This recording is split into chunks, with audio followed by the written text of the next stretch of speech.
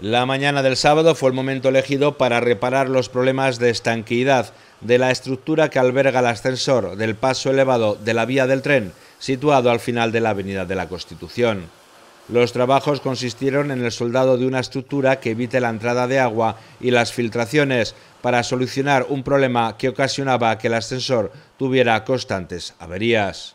Una grúa de gran tamaño se encargó de retirar el cartel que ocupaba la zona de trabajo, mientras otra mantenía a los operarios para que pudieran realizar el trabajo en altura. El tráfico estuvo desviado hasta que la primera grúa se retiró de la zona. Los trabajos están prácticamente acabados a falta de pequeños remates.